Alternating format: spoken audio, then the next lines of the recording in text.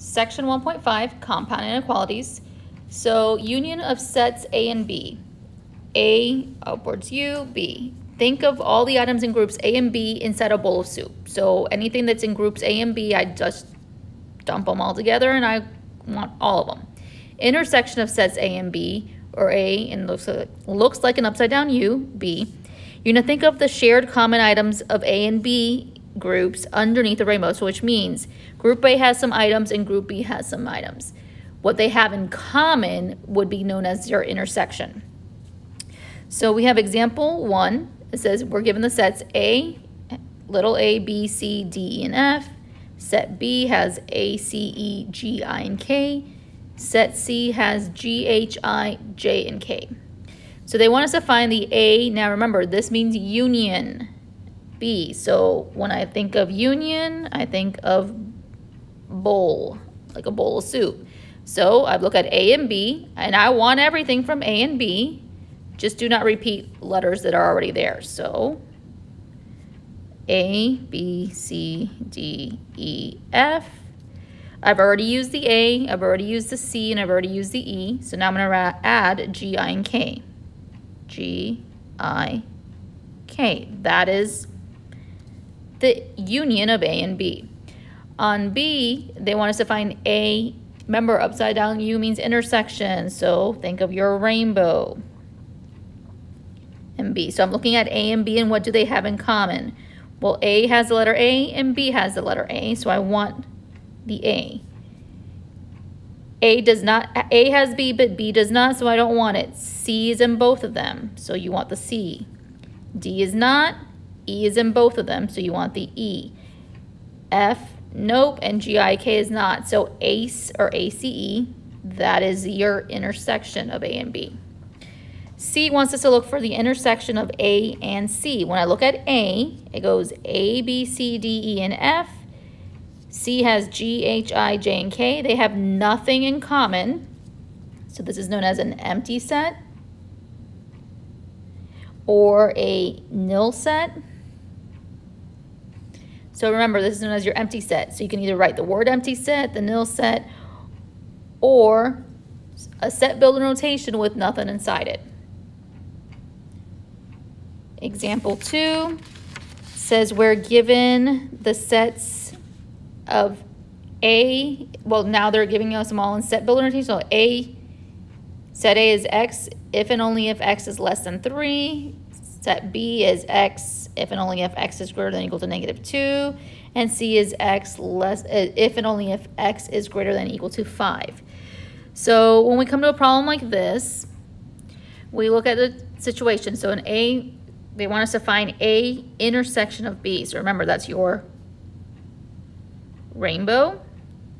But because they give it to us in Set Builder, and we want to find out where do they share in common, the easiest way to do set when they give it to you in set builder is put it on a number line, graph it.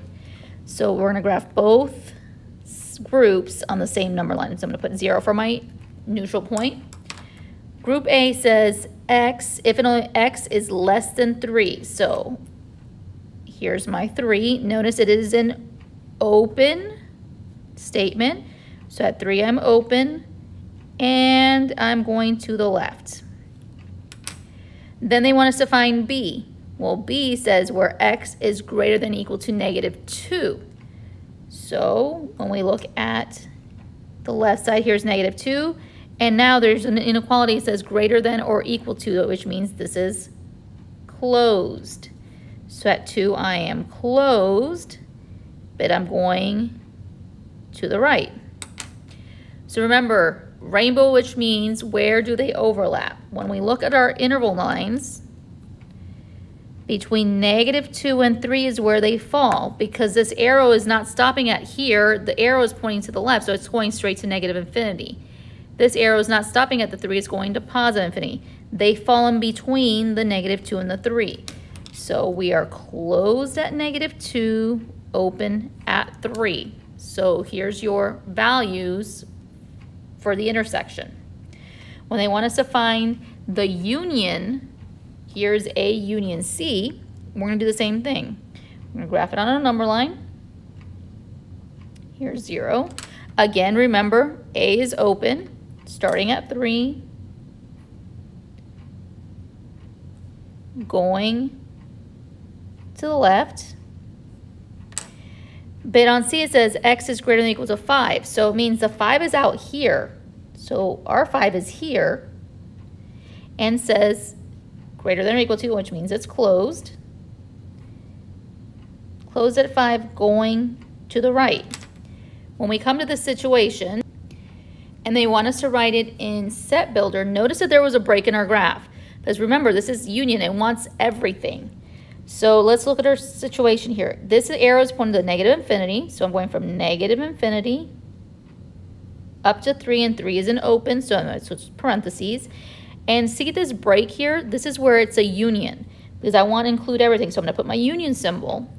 The 5 says it's closed, so I'm going to put a bracket for the 5, and the arrow is pointing to positive infinity. Close the parentheses. So we have two interval pieces when there's a union involved. If the arrow lines never cross each other. Example three, A less than X less than B. When you have a variable contained between two boundary points, it's known as your intersection or an AND statement. So they want us to solve 2 is greater than equal to P minus 2 divided by negative 3 greater than equal to negative 1. Before we can start this problem, first thing we're going to do is make them fractions. So put those, make them improper by putting them over 1. Put parentheses around your p minus 2 because that is a binomial piece and we need to be able to isolate. You want to get rid of this denominator of value of negative 3. So you're going to multiply the left, the right, and the middle by negative 3. Remember the rule, if when you multiply or divide by a negative, you change the direction. So we become negative 6 less than equal to now because I changed my inequality symbol. The negative 3's cancel, so we still see p minus 2. Change your direction less than or equal to. Negative and negative makes it positive 3. So now we're at this point. Remember, again, we're more working from the inside outwards. So it's negative 2. Not only do you add negative 2 to the middle, you're adding it to the left and the right to get rid of them. So we become negative 4 less than equal to p by itself, less than or equal to 5.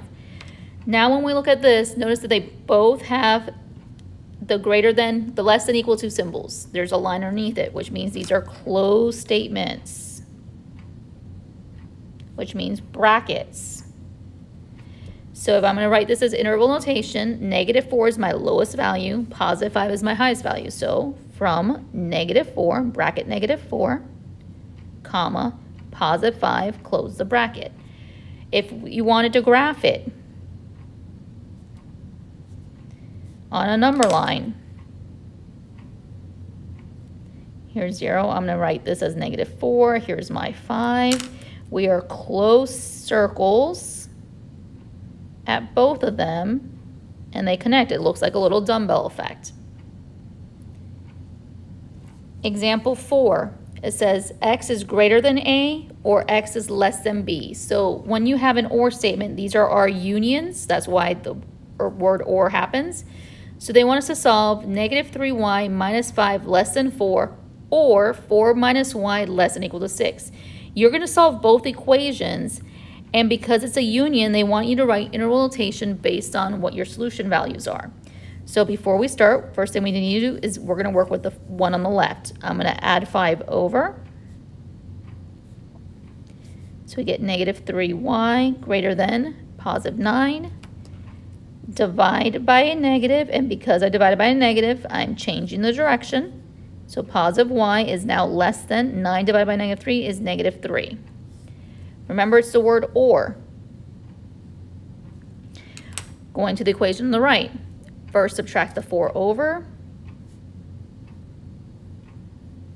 So we get negative y less than equal to positive 2.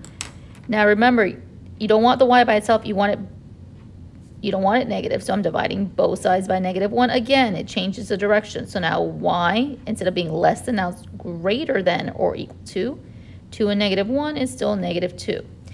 So the values for y have to be less than negative 3 or the values of y have to be greater than or equal to negative 2. So to figure out what our interval is going to look like, easiest way to do it is first graph it. So I'm looking at a number line. Here's my 0. I'm to make negative 2 here. Here's my negative 3.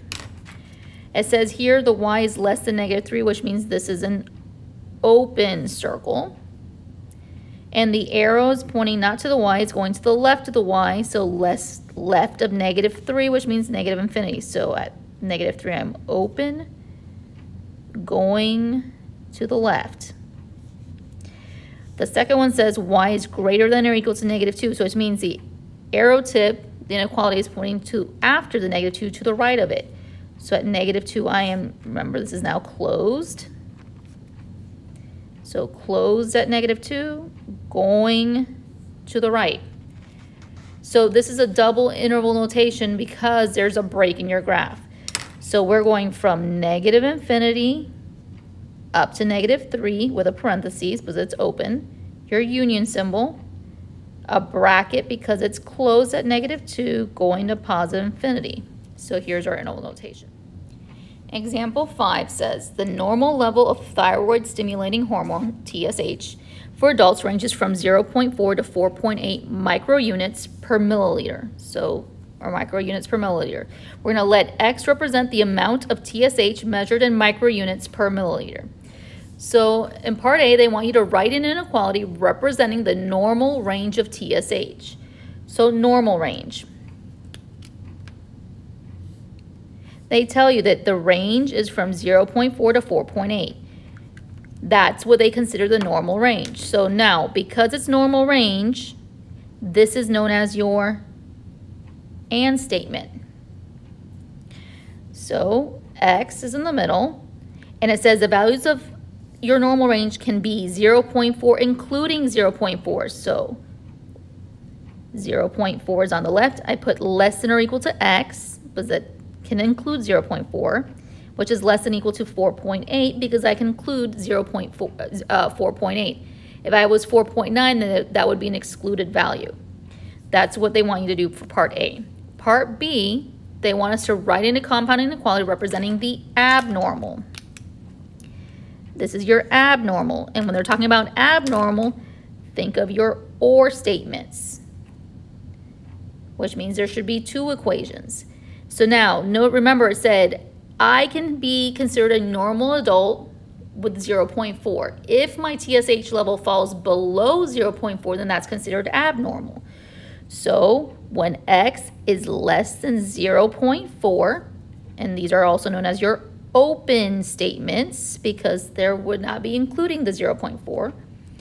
Or if I was above a 4.8, so when x is greater than 4.8, and here would be your compound inequality.